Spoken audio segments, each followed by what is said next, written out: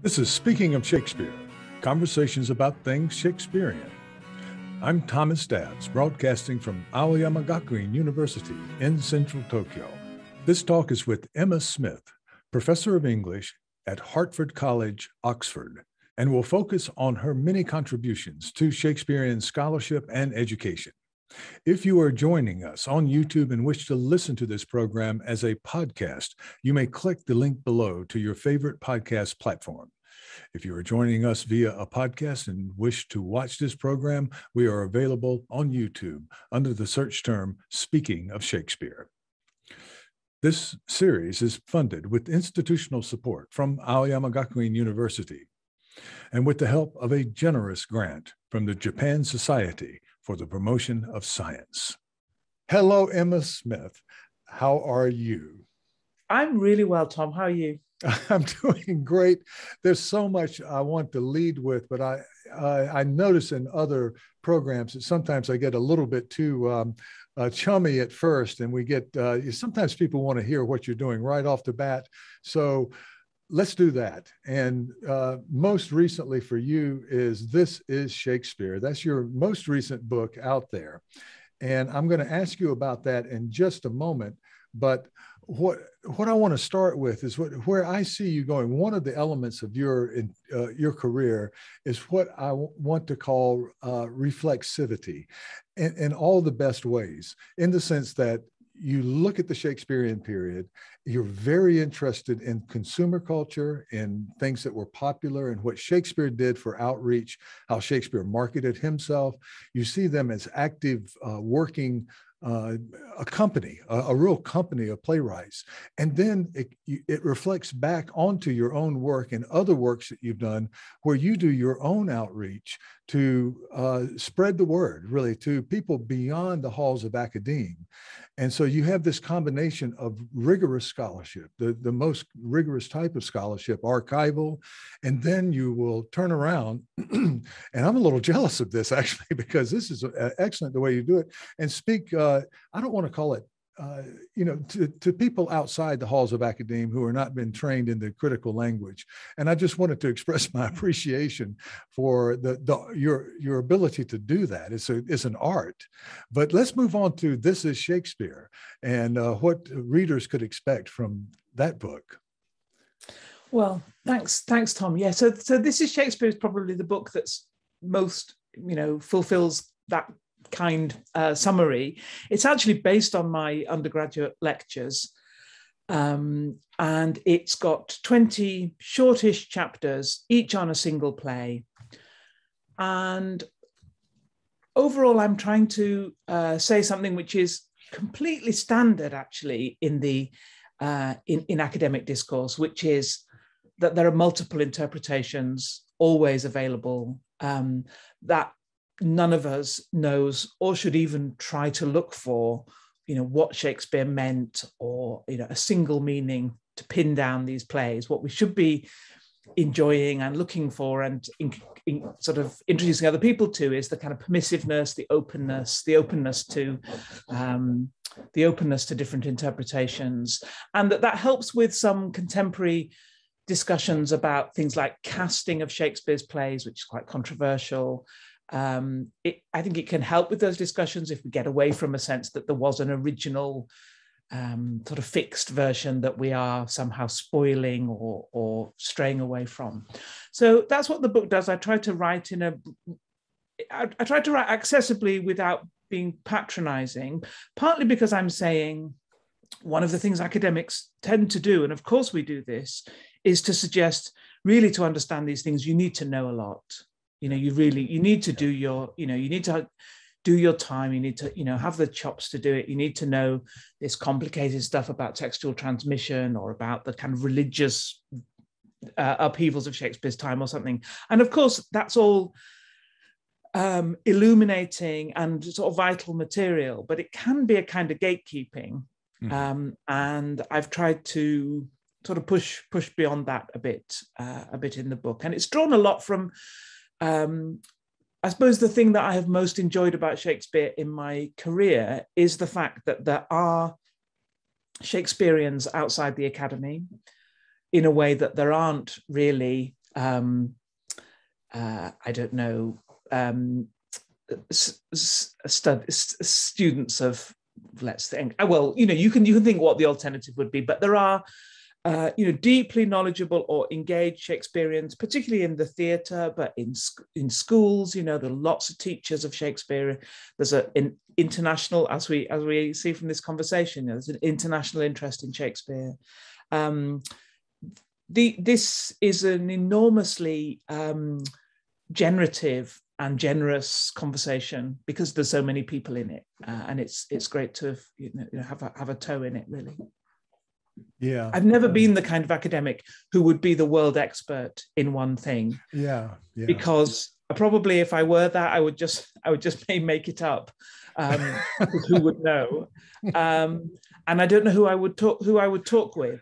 I think yeah. if you're the world expert, you're always in you're always broadcasting and and and helping other people understand what you understand but you're not really can't really be so much in conversation and conversation seems to me the heart of the discipline that we're in as i understand it yeah well i'm thinking of many examples but one for uh, that comes to the uh, forefront right now uh, being uh, in stratford ontario not uh, in stratford mm-hmm. upon avon but in ontario where they have a very big you know shakespeare sort of um, um I wouldn't call it cottage industry. They have theaters in the town, and uh, mm-hmm. I was there for a conference, and I uh, was at a restaurant and spoke to this uh, couple. Uh, we were at a cafe, and they had driven in from Detroit, which is not that far away. And he was uh, the owner of a car dealership and had no real formal training in Shakespeare, but he and his wife, uh, came, they they uh, admitted that they come frequently, and this is uh, you know it's a beautiful town in the summer and so mm-hmm. forth, and those are the types of people you do want to reach. Those are and there's so many of them out there. Mm. And in your book, you talk about uh, gappiness. Hmm. And uh, you did a podcast with uh, uh, Barbara Bogaev for the Folger Library. So I don't want to spend too much time on that because you go into some depth about that concept. But the gappiness in Shakespeare, where we're not, where Shakespeare, Shakespearean plays are, are not finished, uh, in a sense that there, there are things that we can bring to it to to complete and if you could give us a couple of examples of uh, of gappiness in in shakespeare yeah, so I think gappiness was the was the way I was trying to uh, make a space for us in these um, in these plays, and I was trying to um, conceptualize the the open end open endedness often literally often it's the endings of shakespeare's plays that we're not completely sure uh, what to do with. Uh, in the book i talk a lot about the ending of the taming of the shrew where um, uh, Catherine, who's the shrew of the title, she may or may not have been tamed by her husband, Petruchio. She delivers a long speech about women's obligation to their husbands. And she ends by saying that she uh, will put her hand under her husband's foot. Uh, and there's no stage direction that says, you know, how does she deliver this? How is that uh, ironic? Is that submissive? Uh, and then he has probably one of the most famous lines, thanks to the musical in Shakespeare Come on and kiss me, Kate. Yeah. And most editors of the play will put in a stage direction that says they kiss. Yeah. Um, but there's no stage direction uh, in, yeah. in, in Shakespeare's uh, text, and that that just that's a gap. That leaves a gap for us to think what what what happens at the end, and what's um, how does that make the play uh, speak to our own world uh, at this point. Yeah. So often gappiness is a is a sort of consequence of of seeing these plays perhaps a little bit more as as scripts. Once, yeah. once you start to to use the word script, you you don't expect that everything, every meaning of the play will will will inhere in in the words on the page. Um, but we've we've been a bit reluctant to think of Shakespeare's plays as scripts because yeah. um, uh, I, I, guess we were trained uh, early on, perhaps by the first folio in 1623 to think of them as things as literary works to read. Yeah. Well, uh, we're going to talk about the first folio in a bit. Uh, the Japanese uh, playwright from the you know Noh kabuki era, the famous uh, Zeami, uh, did the great cultural service of writing down precisely how to do every play, and as such, the performance of a Noh play or kabuki play or whatnot follows some extraordinarily strict guidelines. That's part of the art. You know, you cannot derivate from uh, hmm. the original production. And Shakespeare gives nothing of the sort. It's absolutely, uh, and, and so, you know, every encounter with Shakespeare, uh, and I don't want to uh, in any way depreciate the art of Zeami, but the uh, but the opening and what you're calling the gaps between what you get as a script and then how a creative, a director and an actor and a group can interact with this script and bring their own creat- creativity uh, to the fore. And we as readers also can can do the same thing. We can insert what we want, and that you know you really have to be serious to go to a Noh drama. But Shakespearean productions, uh, even in Tokyo, oh, just extremely popular.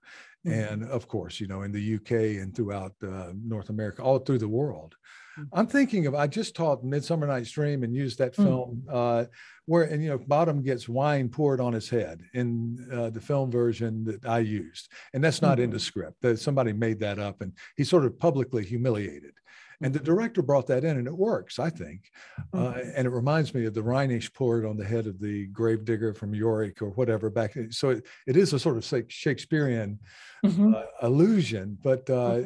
it's, there's nothing in the script about it. And those things are okay. You can just bring those things are in. great. I think actually. I mean, I think um, particularly in performance, in film or in theatre, directors need to um, you know make make make the make the script mean in in our own context. That seems to me what they're doing.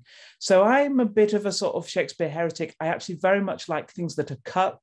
I think cutting is a very helpful way to make these plays move. Um, uh, I don't feel horrified by that. Oh, oh of, of course, there are things, you know, by definition, there are things that you leave out, and there are there, you know, there are losses in that, but there is there are gains as well. Um, so yeah, I I um I think people when I started to work with theatre companies, which is one of the really interesting things that I sometimes get the opportunity to do. I think I go into the rehearsal room and people think, oh, you know, they think that I'm going to come in and say, this is, uh, you know, the, the, every single word of this is absolutely vital and meaningful, and you must do it all. And in fact, I'm saying, I would, yeah, that leave that you know that's fine. Leave, you know we can just cut we can cut that. That's absolutely fine. So I, I, do think that shakespeare one of the words i use in the book is permissive. And i think partly because most of us encounter shakespeare first in educational settings where we have to get whatever approximates to the right answer um, we don't tend to think of the shakespeare being permissive. We think of it being actually quite regimented. Um, uh, but but I think it really is, and that's where the life that's where the life of it is. Yeah, and uh, what a wonderful thing for you to do to uh, to do the outreach. I guess is uh, what we call it now, the outreach and uh, making contact with the public. Uh, this is the. It's not a trend. I think it's something that's going to set in. Uh, when I think of what you're doing, I think of the the, the, wonderful Weston wing, the, the, the newer newer wing of the Bodleian, and I joked with Pip Willcox in a prior uh, conversation about the first time me as a 22 year old graduate student hmm. uh, entered the Bodleian and feeling incredibly intimidated, right? Mm. Uh, and once I got in, everybody was just wonderful. Mm. But up front, it was uh, very officious. And so, but I think uh, we're trying to sort of turn turn those things sort of a, a bit more um, turn them a bit make them a bit more public facing you know that the new the new sort of the architecture of the new building in the bodleian library in oxford sort of really tries to embody that as you're saying you know it's got a big open entrance hall with lots of free exhibitions and a cafe and it's really you know trying to say rather than those that very wonderful secret sense of being admitted into a secret staircase um, yeah. uh, but that was only for the initiates wasn't it and i think yes. um, and certainly in a place like Oxford, I mean, my career has been almost entirely in the University of Oxford, uh, and I've been very fortunate to do that. And Oxford is a is a wonderful uh, place to be. It's a place with a in the in the British imagination with a very long and some would say sort of continuing history of sort of elitism that's um, social rather than intellectual. Yeah. And so, you know, we, we've got work, we, have got ongoing work to do, which is to, you know, uh, open up the resources of the university to the to a wider world. You know, our universities are all public in the UK. We do have a kind of public facing uh, mission in a way, and and we've got to work to get a broader range of, in our case, still mostly young people. It's young people who come to be undergraduates. We don't have a very mixed age range, but getting those people from from different backgrounds in the yeah. still rather class stratified British system, a, divided education system. That's a big job of work. So um, I do think that that being turned, you know, outward, particularly for the humanities, is a really important. You know, it, it's really important. You know, my university developed, you know, one of the vaccines. That's wonderful for the That's university, right. but it becomes a bit more difficult sometimes in a way to say, well, why are you fiddling about with Shakespeare? You know, yes. there's important stuff to do. But you know, the, the, and I, don't know that the this is probably going off our topic, but I think some of the really um, sort of skeptical, properly skeptical work about those old things we used to say about the humanities. You know, they make us better people, they develop empathy and those things. I can see why those were problems, and they were that was a kind of lazy thinking. But I think in the course of that, we haven't always, certainly in my context, made a very good case for what the you know what the humanities do do. Yeah. yeah. Um, and instead, we're sort of trying to say, oh, people who do humanities degrees still get jobs in banking, and that's great. You know, pro- probably yeah. some of them do, but that that can't be you know that can't be the only the only role. So that's a long way of saying, yeah, you're you're, you're the car dealer who you met in, in Stratford. I think that that's a great reminder that um, uh, people do want to know about the stuff that we um, are finding out and the ideas that we're developing, and they're um, you know perfectly capable. Sometimes we underestimate how yeah. you know how able they are to sort of get on board with that. Yeah, well, uh, some years ago, I, I, and I still am, but some years ago, I, I wrote on this, and uh, if you take the reverse view, right, you say, okay, let's just take it out. All right, let's just not teach Shakespeare at Harvard. Let's not teach Shakespeare at uh, a, you know another university that uh, is at Harvard, does the you know status of the university go up? Do people feel better about the university? And I, I think there's always been, it has always been, for hundreds of years, public demand for Shakespeare. People want mm-hmm. Shakespeare. Now you can argue, well, we don't need to spend you know resources. Uh, you know that's a hobby. That's like trout fishing or or mm-hmm. something uh, of that nature. And you go, no, people want the public wants Shakespeare and they want Shakespeare in the university. And, uh, and I, I, think that if you took it away, there would be a public outcry. I think that's and, right. And it's so interesting to see in lockdown, what did people, when people's lives were very stripped down from, you know, some of the sort of stresses of work, some of the stresses of commuting, you know, spending time out, what, what did they, what, what did they want to do? And many of them, you know, wanted to read, uh, were interested in you know poetry that was being you know read daily we were looking uh, online at different kinds of entertainment uh, theatre you know lots lots more people went to theatre streamings than probably would have gone to live theatre so yeah one of my uh, i always remember one of my colleagues who's the head of our medical sciences division he uh, he always used to say to me yeah it's our job to um it's, it's our job to make life long you know longer and it's your job to fill that up you know yeah. make that meaningful. Why should life be longer? Yeah. Uh, just and, you know and hobbies you know even I, saying it's just a hobby. I don't think that's such a bad thing you know that no, that's it's not a bad know, thing at all. it's not it's you know it's so so I, i'm i mean i'm not i'm not a i think there are some very um sort of brilliant defenders of the humanities and i'm not as articulate about that as i should be um, and in some ways, I suppose I'm trying to do my bit of that by do, doing it, just doing it by Shakespeare um, yeah. and letting the broader point. Yeah, well, that's that's a pretty big uh, platform. Shakespeare is a pretty big platform to work from, and uh, I'm and I'm so happy you're doing it. I I try well this series and uh, in its way is an uh, attempt to do Absolutely. just that. Absolutely. And uh, and and I think it, you know it's, it's been very well received, mm-hmm. better than I thought uh, than I thought it was. You know, by people who are not uh, you know Shakespearean is Shakespeareans proper. Or, you know, they may be. Mm-hmm. Other forms in academia, but also gen- in, in the general public. it had some wonderful um, wonderful feedback. And uh, but what I, I, want to do in every one of these uh, podcasts is to and video um, YouTube thingies is to uh, talk about what's upcoming. And I noticed on your website that you have Nashe and Twelfth Night. and Merry Wives and Portable Magic. And you can choose from that menu. You you are into a so lot. do you know what um, one of the things that i realize i'm trying now to do in my career is to alternate or to keep both strands going so that if i have the space or the platform or the authority to talk more widely about shakespeare for me it's got to be based on doing new work myself that's not necessarily of interest of wider interest but that you know keeps me uh, I, I do in, I do enjoy the job of sort of uh, um, promulgating or kind of uh, broadcasting in a way other other people's ideas. I hope properly um, you know pro- properly uh, you know given to them and and attributed to them.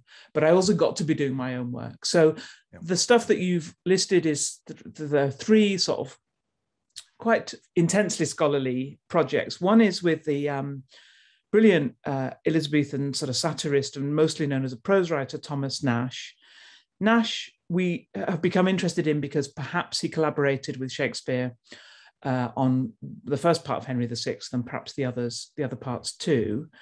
Mm-hmm. Um, and he's always in the background of other plays. You know, he, he collaborated with Jonson on a play which was very controversial and which we don't now have.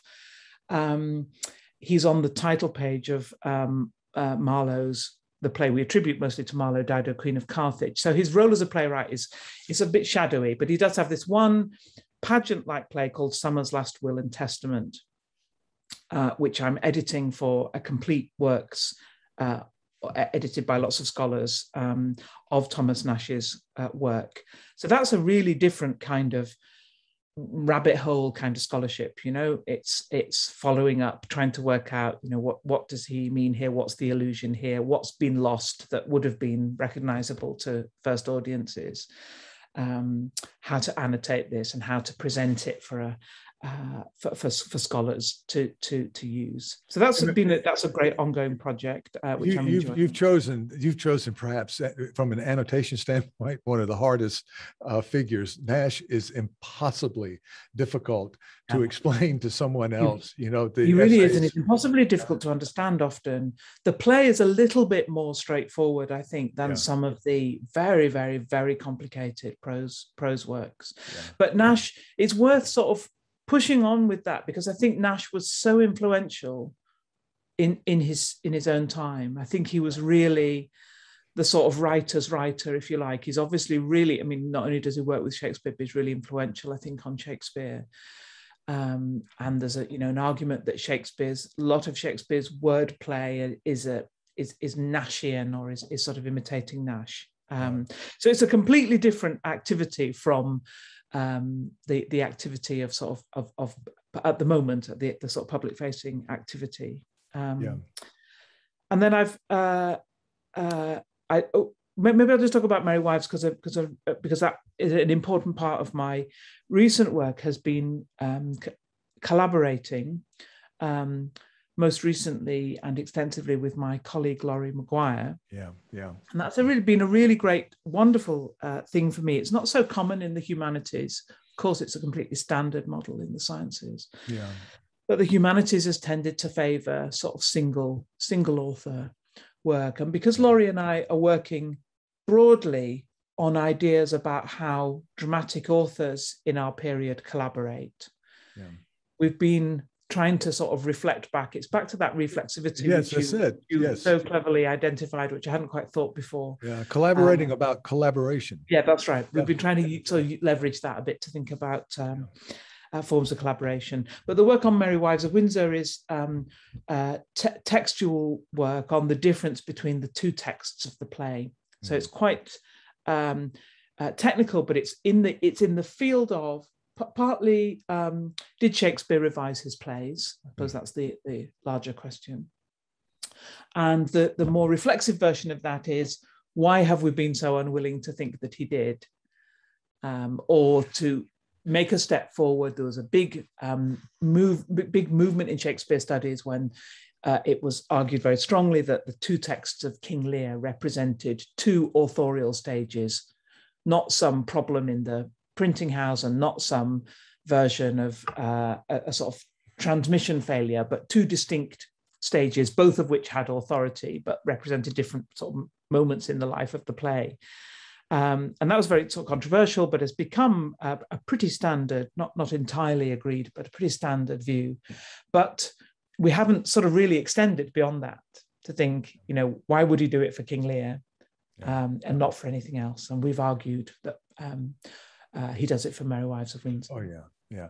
I mean, the impossible the, the impossible scenario of putting on a play publicly and having it performed, and then reviving it in some way, and saying, "Okay, um, it was perfect the first time." Yeah. Yeah. How how could that possibly be? Yeah, I anybody, anybody who's been anywhere near theatres knows that you know you know there are working scripts for for different productions and different different moments yeah absolutely yeah uh, so portable magic.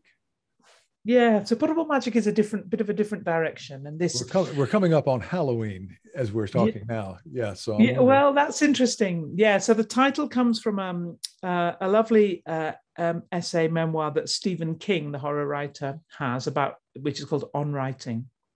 It's just quite a throwaway remark. He says, books are a uniquely portable magic. Um, and so I've taken that as a, as, a, um, uh, as a title to think about books um, and particularly to think I, have just about finished. I've just I'm just on the last revisions of this of this book.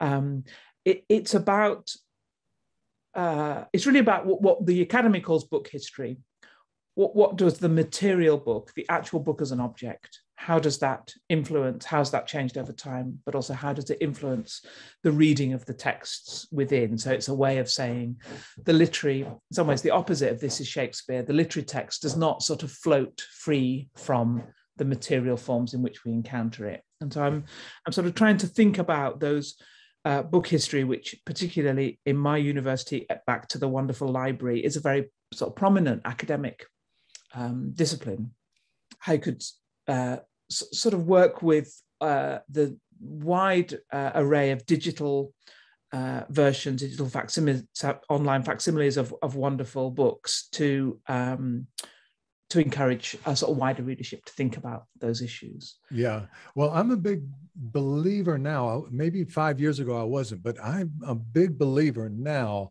that the uh, death of the book was greatly exaggerated. And there's a lot of evidence in Japan among uh, my younger students and so forth. Uh, now, it may not have the prevalence that it had. It may be something like vinyl records, you know, in the future, uh, mm. you know, recovery, uh, kind of, uh, again, a hobbyist recovery of mm. what used to be called this thing, the book.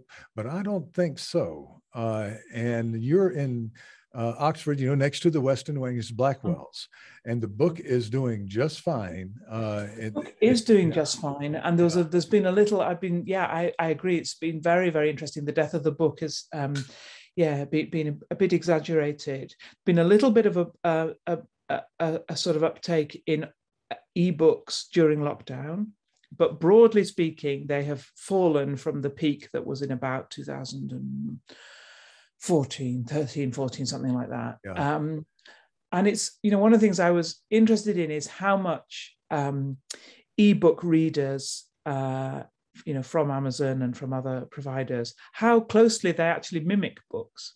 Yeah. Yeah. So they haven't really given us what's so interesting about that whole technology is I think we thought in the perhaps in the 90s or early 2000s, this is going to absolutely transform the kinds of sort of um, interactive texts that people will have, and we'll have these sort of enhanced digital books, which will do so much more than a regular book. And in fact, there has been, you know, the the, the attempts to um, produce those have com- completely fallen flat. What people want is a lighter, slightly bigger print book that they can take on holiday or read on the tube or you know enlarge the font and use backlight and not wake their partner up in bed or something they want those things but they mm-hmm. actually don't want bells and whistles and hyperlinks and all, no. all of that so they really just want the text of a book perhaps in a slightly more in some circumstances a more convenient form so the so so ebooks have done nothing for uh, unlike all almost all the other technological advances in the book, they've sort of done nothing to the content, which is, right. which is kind of interesting. They're, they're quite a static, uh, right. quite a static form. I'm not I'm not actually against them at all, and I have a Kindle that I take on holiday if I'm very convenient. Yeah. Um, so I, I, don't have a, a, sort of I'm not on a crusade against against them, um, but they are, um, as you say, they were thought to be the future, and I think they're not. They're actually not really. Well, in a conversation with Tiffany Stern, uh, she said, you know, the uh, the Arden, and you're working with uh, the Arden series also.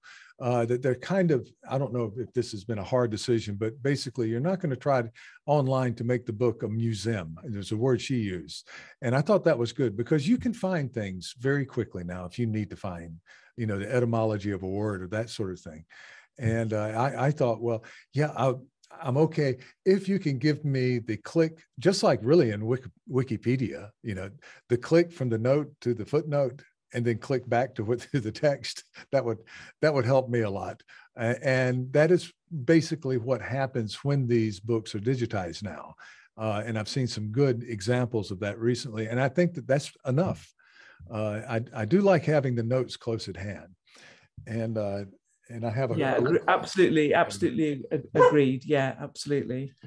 Uh, well, I want to go back a little ways with you, and I wanted to uh, praise you. I, I, I followed you for years now, but I really got on board with the uh, Elizabethan top ten, the the uh, edition you did with Andy Kesson. I it was a turning point for me. And I think, you know, we have a group uh, from my university that comes over in the summer. And I think I saw you on uh, the street at one point and I was complimenting you. You were busy, you were on holiday, you know, during that time. And I sort of said, hello, thank you for now I don't have to write uh, whatever 20 pages on the history of popularity because you've done it for me and I can just say go see Emma. And she's done it right? That introduction to the book was just wonderful for me. It was a and and you handled that so well and for our viewers you know, the history of this word popular it goes back to uh, before raymond williams but i think raymond raymond williams said uh, those things that are liked well liked by many people was a quotation that doesn't do it. And then this whole conversation over years started about, you know, what's the difference between mass and popularity? What's the, you know, what, and you handled that so well. And that, and I don't think you've, you probably have not been given enough credit because that was just, um, wrestling with a bear there. I mean, it was a, a, you know, and so you did it there, and the uh, the uh, articles in that book are so good. And it points out to Shakespeare as a working playwright who, in some ways, you know, it was not the age of Shakespeare, you know, and, and that that comes out very clearly. Uh, but the, uh, the, the, there are analytics in the books, digital analytics, and all all of those things that are that can provide a foundation for people. Maybe not like me; I'm further along in my career, but younger people who are uh, grappling with these sorts of things. Uh, and I thought that you, you and uh, Andy just did a wonderful job with that. And I just wanted that to be part of this talk. Oh, but, that's that's yeah. so kind of you, Tom. I mean, it's a really, really interesting topic, and it is a lovely collection. Um, Zach Lesser and Alan Farmer did an amazing uh, job of segmenting um, the publishing output yeah. of the of the London publishing industry and sort of trying to and, and they would be the first to say you know these categories are sort of difficult to get to but as a piece of sort of quantitative analysis it's really extraordinary and one of the things it points out is just how tiny the literary marketplace was compared yeah. to yeah. Uh, religious theological sermon books and law books that's what everybody's looking at uh, I wanted to make sure I know that you uh, have a class to teach, uh, and so I want to make sure I get all on twelfth night. Yeah, on twelfth night, 12th i want to come back to twelfth mm-hmm. night because I just failed as a teacher uh, trying to teach that last uh, our last semester. I'll go into that a little bit later, maybe if we get to it. But I don't want to miss the first folio because you're a first folio person, and we talked to my colleague over here uh, uh, Hirohisa Igarashi, and he's just translated Blayney's book from the Folgers. that came out some years ago, but he just translated that into Japanese, making it more widely accessible over here. But uh, you work on the reception, and you know I have a little bit of a background in reception theory. I'm fascinated with the work that you've done, uh, particularly at the you know in the 1620s, at the the initial publication of the first folio, uh, and and what you found uh, about the, the initial reception of the first folio.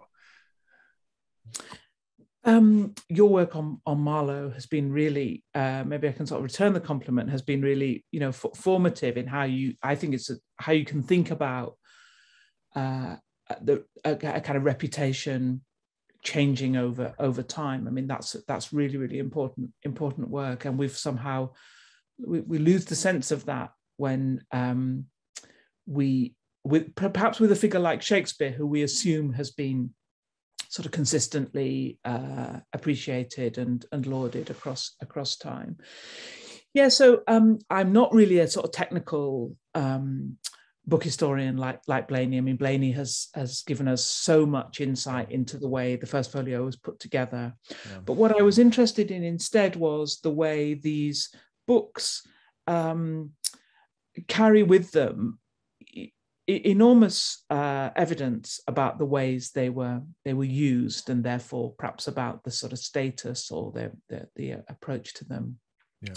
And it's absolutely the case that sort of in the period before, maybe in the maybe in the long in, in, in the 17th century, in the rest of the 17th century, um, many many readers of the first folio annotate and, and add marginalia or underline the parts that they that they like um, and uh, that gives us a, a sort of um, map of the of the hotspots. What's what's interesting is that in all these studies of uh, marginalia and readers' marks, if you have one example, it's very very difficult to make any sense of it really mm-hmm. you know why mm-hmm. did somebody do that you can't really reconstruct but if you've got what i tried to do was a, a sort of census approach where i looked at as many copies as i could of this book mm-hmm. and tried to aggregate small bits of data to think okay people do do this people don't do this people don't tend to work uh, this is a big book the first folio people a number of people seem to have started it as if they wanted to go all the way through but given up, which is very recognizable. Mm-hmm. Um, you know, people don't tend to uh, give the same attention to every part of a play, and it's interesting to think why why they don't. Um, you know, there are lots of um, ways that that commonplacing tradition, which was so important for uh, early modern culture, tends to pull out um, sort of purple phrases or uh, it's in some ways it, it, anticipates our interest in Shakespearean quotations, but perhaps um, perhaps with some slightly different ones. So, for example, I looked at um, you know quotations that are very famous to us now, like uh, from Richard III, "A horse, a horse, my kingdom for a horse." Now, nobody underlines that mm. in a in a Shakespeare first folio, presumably because it's not a phrase you could ever imagine yourself using, and so it's not useful um, as part of that sort of commonplacing um, tradition. Whereas, you know, the Tempest is the first play in the in, in the book. It, it, gets a lot of attention from um, uh, you know eager eager readers. And one of the scenes that I, as a reader of the Tempest in the modern period, I'd never really looked at was the scene uh, where Ferdinand meets Miranda, and he has these actually rather cheesy chat up lines. Um, he's a, quite a smooth, uh, urbane young man, and she, uh, and these the, these lines look uh, enormously useful to early readers, and they're underlining these like mad, thinking, you know, this is what I will say if I meet a kind of island maiden and you know have to impress her with a one of these drop dead remarks. You know they're, they're kind of chat up lines they're early chat up lines. Mm-hmm. that, that's quite an interesting form. So i love the the the, um, the opportunity um, to look at the, these books um, but also to uh, in part of my work to take us back to a time when people didn't put these books in glass cases and instead they had them they had their candles or their tobacco which was making marks. They had a wine glass sometimes which they would put on it or you know they were eating or a cat might walk across. You know these were these were real sort of working books rather than museum objects and that's a that's sort of that was an important thing to get back. Yeah they were used books. They were used uh, books yeah, yeah absolutely. they weren't um, uh, rare. well, I th- what you brought up uh, uh, about the uh, perhaps the younger men uh, looking for, for chat up lines, as, as you, you, said, and I think of Romeo and Juliet, mm-hmm. uh, and Romeo and his um, fellows, you know, out there in the streets. Yep. You know, reading books on sword fighting to yep. find out how to do it, and Juliet telling Romeo she kisses, he kisses you, by yeah, the you book. kiss by the book. You know, yeah. yeah Yes. And uh, what do you think that means, Tom? Do you think you kiss by the book is you're really, really good? Is that's a textbook kiss, yeah. or do you think it means that's a bit of a um, you know sort of bloodless uh, kiss based? I never, I, I never know which which. I, well, I, I, think in our time, I wouldn't want to be told. Uh, no, know, that's right. Exactly. Yeah. Uh, that's a good way. That's a very, very good question to ask. Yeah, I, am in favor, and I'm not. Uh, you know, uh, I, am not married to this idea, but I'm in favor of it being a compliment uh, mm-hmm. in in some ways because uh, you know, kind of in other areas, if you say you know he goes by the book, there's a there's a kind of compliment in it, but then sometimes yeah. it means uh, you know you you're draconian you're and strict and, somehow. Yeah, yeah, you go by the book and rather than sort of seizing the human yeah. moment or something. But it, it, mm-hmm. doesn't land. It doesn't land as a romantic line in our time. No.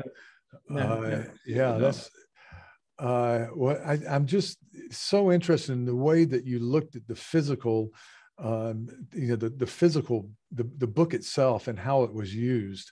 And it just, and finding out and seeing how, uh, how people it, it, this is the one of the great arguments for the humanities you know it puts us in touch with us you know who we are and mm. uh, where we came from and uh, that's that's going to be of eternal interest. You know, it, you can talk all you want to about kings and queens and uh, battles and uh, you know land uh, basically borders changing and all of this stuff. But uh, what we're doing here, you know, you can just see somebody who's reading and touching and moving with this text in their house and and and marking marking it, uh, and it, it, just gives us such a what is it? Uh, sense of community with those who who came before us. It sounds a little bit lofty, but mm-hmm. I don't think it really is. And it, it uh, it's just wonderful. Well, you say that you haven't done much outreach, but you are, uh, you know, a working scholar doing, you know, Thomas Nashe. I mean, not, uh, you know, the Marprelate controversy. I think I read about that once a year to try to refresh my memory, and then forget major points. I can't I can't keep it in my head. It's so complicated, yeah. you know. I mean, Joe, Joe, Black, there's a brilliant team doing the Nashe and I'm learning such a lot from the meetings that we have. Um, uh, Joe Black is doing the Marprelate tracts, and I think the edition will will really uh, have some really interesting things to say about Nashe's role in that and also about you know the the sort of clandestine printing of these um, these tracts. So it's it, it's it's a very very interesting world. I am um, a bit of a spectator in those uh, in, those scholarly discussions, uh, uh, but yeah, learning learning a lot a lot about it. Yeah, but you you do quite a lot and uh, just a, a, search on YouTube, you get out there and you do educational, uh, uh, uh, not not consulting. You you have your lectures available. Some of your lectures are available. This is the series is called Approaching Shakespeare. Yeah, uh, so it's of maybe thirty or so lectures on different Shakespeare plays, and yeah. another smaller series called Not Shakespeare, which is on some well-known but not Shakespearean uh, early modern so approaching Shakespeare, I want to get that out there. I have uh, mm-hmm. colleagues who will want to uh, mm-hmm. see what you have to say. Uh, mm-hmm. And you do theater consulting uh, also. Yeah, I do. I, have just um, I've just joined the uh, Royal Shakespeare Company as an associate scholar, which is a great uh, great privilege and, and treat. Wow! So. I do a bit of work with them. Um, on on, on productions and on uh, programming, but also on their education work, which is which is interesting. So one of the projects that we have at the moment uh, is a, um, a funded project by the Paul Hamlyn Foundation to try to uh, evaluate the work, the education work that the RSC do in schools. And I'm interested in that because, I mean, it comes back to um, a theme of this conversation. You know, what, what kinds of value are we uh, able to uh, get sort of social buy-in for about about the humanities where, where, where do we think they make a difference what difference yeah. do they make um, how can we how can we quantify that in the terms that seem to matter which are sort of exam results and so on but also how can we develop some more qualitative measures that say you know that, that in some way the, the, the benefit of this is is in kind of quality of life points rather than necessarily um, only you know reading age or whatever. Um yeah, yeah so i so i really enjoy um uh work uh, work with theatre and um I, have done also one film one film script which was for mary queen of scots Josie Rourke's uh, production with Saoirse Ronan and uh, Margot Robbie, um, which was great, great fun reading a modern, uh, very uh, gifted modern um, playwright's uh, take on a sort of early early modern english. Yeah. and i've got one i made one impact only on on that script apart from well I, I kept saying i don't think i don't think we can have this. So i had a negative impact saying not this not this not this. Um, but i had only one positive impact where the wonderful david tennant um, is john knox in a great big beard. And he is delivering a great condemnation of mary queen of scots um, uh, as a, a, sort of loose woman and a, and a scarlet woman. And I had um, been at a talk which had had uh, a great sort of word cloud. The one that stuck out for me was polecat, polecat. Polecat, yes. Well, polecat. Yes. And, and, David Tennant, John Knox does call Mary Queen of Scots a polecat, uh-huh. and that's my one moment in the film. So that's uh, that's that's the that's the only thing I. And did. you brought so, that word to into the I script. Put that word, I put that word in the script. It's uh, it's an American Southern word. I'm from the Southern. Is it? uh, but mm. I remember hearing oldsters say things like that when I was young. Mm. Uh, so it wouldn't be contemporary. It wouldn't be a contemporary mm-hmm. word, but mm-hmm. uh, I, I, think it survived uh, through throughout. Well, it mm-hmm. wonderful to be able to have that uh, conversation and the uh, the uh, John Knox, the the uh, probably the leader in the top tier of people you would not want to go have a beer with. Yes, absolutely, absolutely. like, yeah. What what possible you know you, you'd be looking at your watch the entire time trying to get out completely, of it. Yes. well, so talking about somebody you might want to have a beer with, that's Christopher Marlowe. You've done quite a lot of work on Christopher Marlowe, and I that's Marlowe. It was Shakespeare, of course, but Marlowe just turned around everything when I was young and I read Tamburlaine the Great and I thought, I mean, you know, this was during a the you know the, the time when movies now this I'm not quite th- this old but there were a string of movies uh, you know Godfather Deer Hunter um, and a Taxi Driver you know that just really pushed the edge of things and I thought oh boy this is really avant-garde and then I start reading Tamburlaine the Great and I'm going these guys, Scorsese's great, you know, and uh, Coppola's great, but this guy is outrageous. I mean, this, uh, who did this? You know, who mm-hmm. did this? Uh, and then uh, Edward II uh, with those lines of just this purity that uh, mm-hmm. Shakespeare does in Richard II, of course, uh, and you have some, ex- both of them extraordinary plays. But mm-hmm. what a turnaround moment!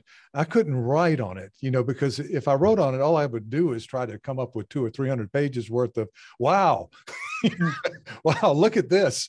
Uh, yeah. And it doesn't it doesn't align itself. It didn't then, and it doesn't now align itself very well with what we consider to be appropriate behavior, you know, which is kind of the whole point. It's just bad behavior all the way through, yeah. done with such incredible poetic precision that you just it's not it's really just not of this earth. It doesn't seem to be. I it's so i mean i as i said i think you know your work on marlowe is so i was lovely to hear you talk talk about it. And the the comparison actually with those um with those sort of male psyche kind of movies, big movies, is really it's a really striking one, which I hadn't sort of thought before. Yeah, I mean Marlowe is a genius, isn't he? And what would the uh, there's all that um, investigation and sort of conspiracy about his death and and how that happened, but really the main thing about that is you know the main sort of what if would be you know what what if Marlowe had, had continued because all of Marlowe's work I mean I, I can't remember who I who, who, who said this, and it may even have been you, Tom, but um, all of Marlowe's work is what if he had uh, lived a sort of normal span of, of, of years would be called juvenilia. Yeah. You know, this is or, all work from, you know, is so, so early, uh, so, uh, so, so such youthful work. It's, it was extraordinary to think what, what he would have done. And as lots of people have pointed out, Shakespeare and Marlowe born in the same year.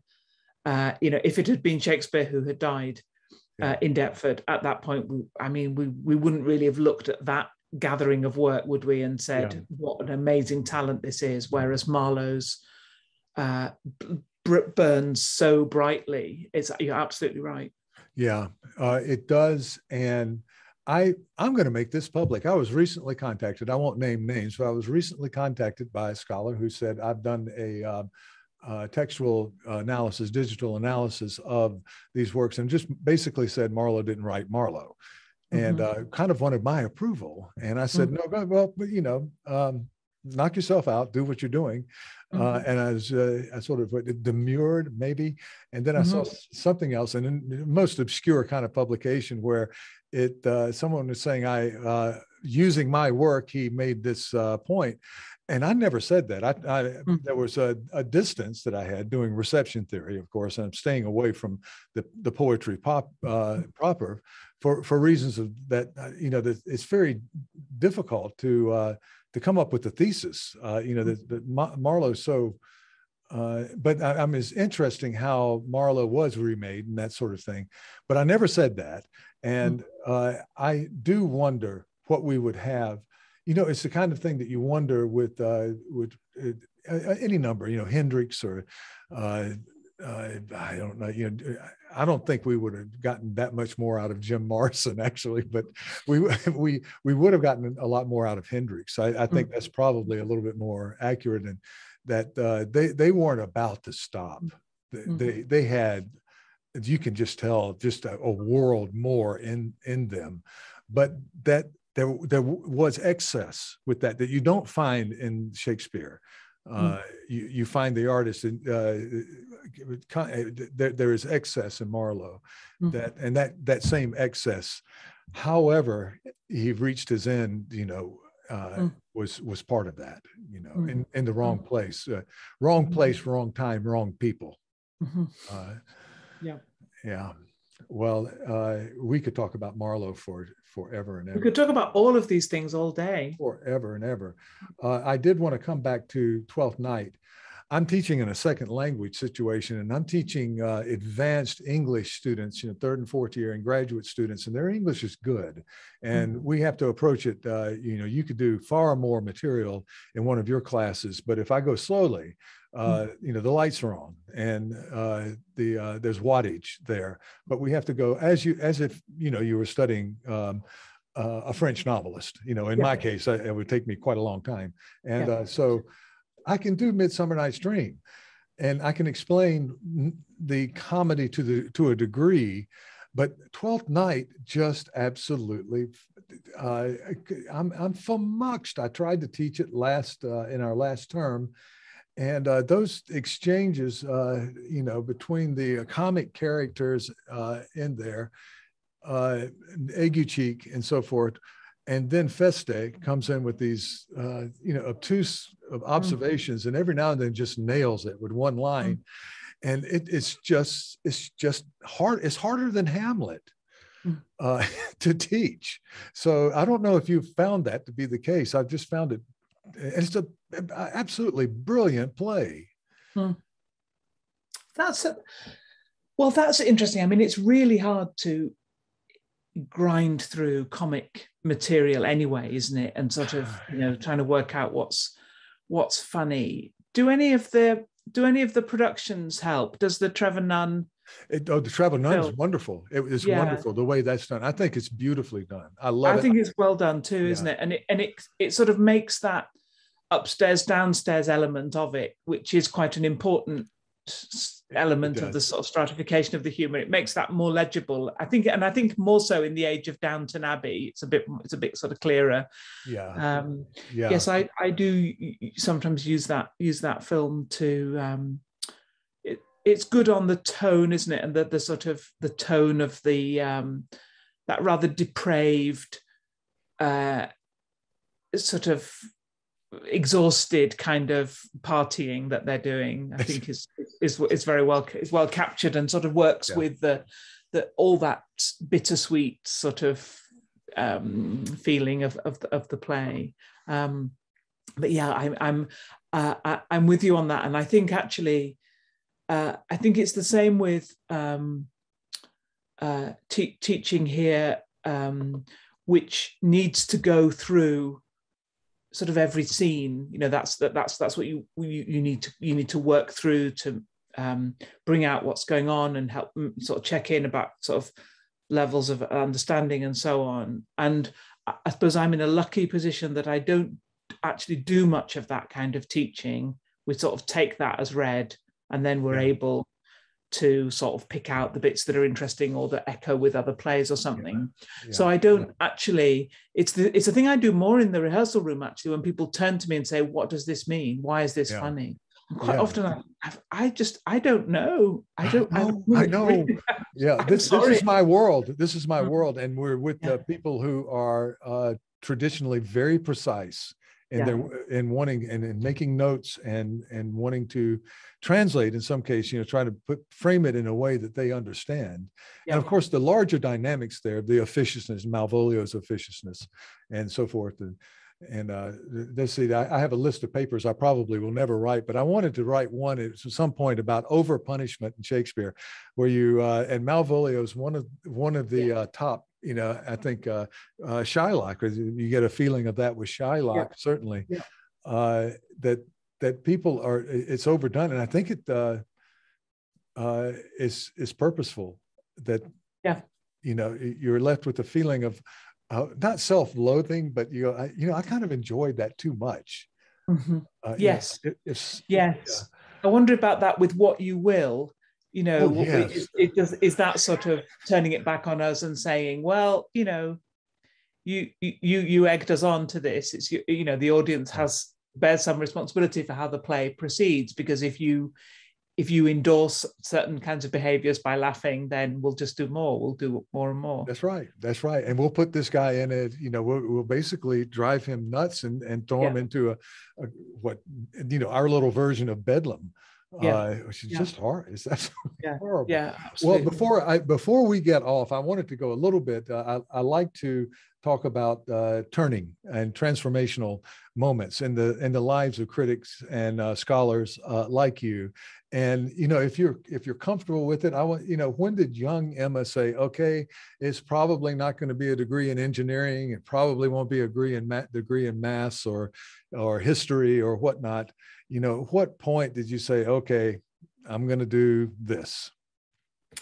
Yeah, that's a good question. I mean, as always, as probably most of your guests on this, as always a reader and a kind of bookish uh, child. I think I thought I would be a novelist. That's what I really wanted to do.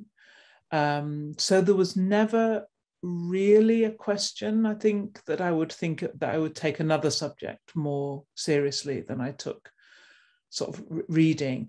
I must say that when I went to study English at university, I didn't actually really understand what the professional study of literature was. Mm-hmm. I thought it was just reading a lot. Mm-hmm. and I thought, you know, why, why, you know, how wonderful.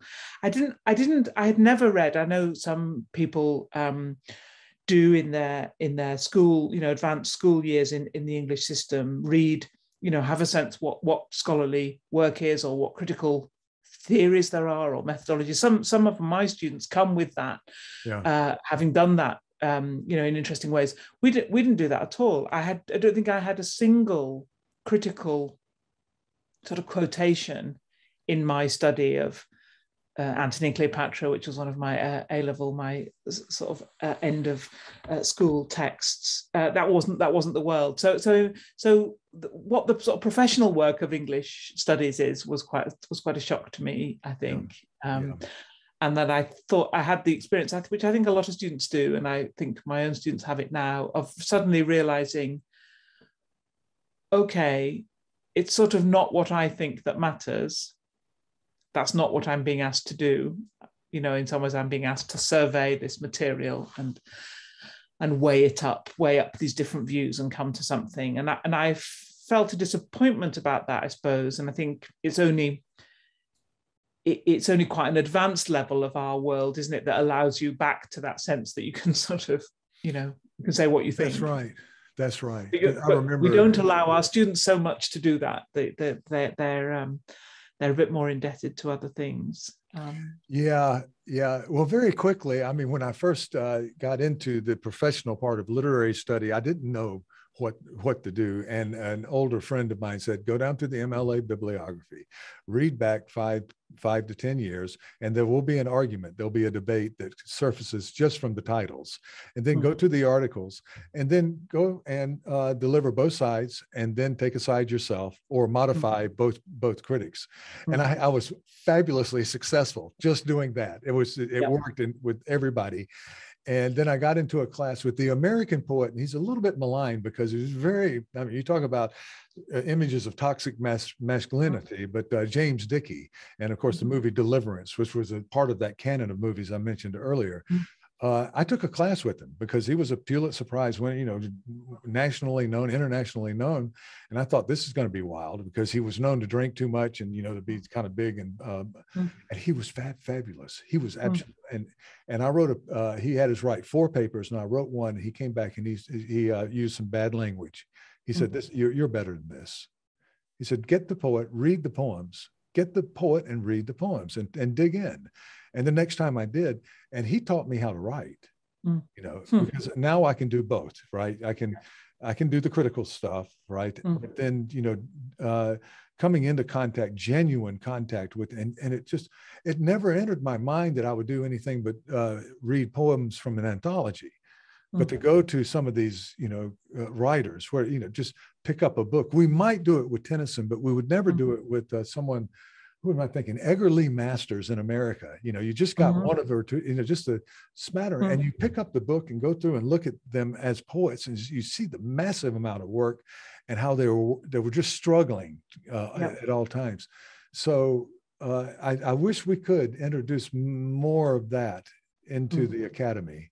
You know. Mm. Uh, uh, but but when you have somebody like Dickey tell you to do something, yeah, that's you, right. You, you, do it. yeah, you do it. You, do uh, you know. Yeah. Yeah. yeah. Uh, and yeah. so, well, I you know I, I, if there's anything else that you have that uh, it, forthcoming that you want to uh, throw out there or put out there for us to uh, to consider, uh, please do. I wanted to uh, thank you, uh, the, you folks at Hertford College for our summer programs. You know, we haven't been able to do, do them. For so many of our students, uh, it's a wonderful experience, but then you have the few that it really does break things down. You know, the, Japan is uh, is historically xenophobic, you know, the, and provincial in the way that many countries are, and uh, the way that I was when I grew up. And I mm-hmm. remember my first visit to uh, the UK and how you know eye opening it was.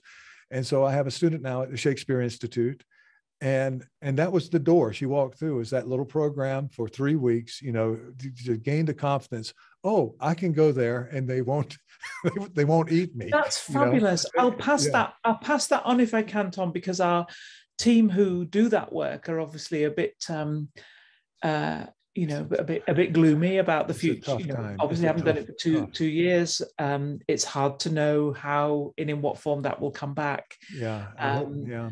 So but more you know, than it, one, more than one example, and that's just from my university. You know, yeah. people uh, that's been a uh, uh, again a transformative experience for them. That's, uh, that's, that's, great to hear. Really good yeah, to hear. Yeah, yeah. Well, I very much hope that we'll be welcoming you, that we'll be welcoming you back at some at some point Um, well, I, I do too because I surely do uh, love the love the uh, you know the environs of the college mm. are just uh, so fabulous and the the library's right there right yeah and the the walks the the yeah. wonderful long walks and you know on the beautiful summer days sometimes yeah. it isn't beautiful and then the pubs. Oh, it's good to be reminded of that. It's not a beautiful. Uh, it's a it's a rather um, probably not not right and, uh, and grey kind of autumn day here today. Um, yeah, we, we tend to get an idealistic uh, view of Oxford. You know, coming there in August. Yeah. On, on good years. Maybe we can put know. up some um, uh, ideal idealized pictures with this this part of our conversation.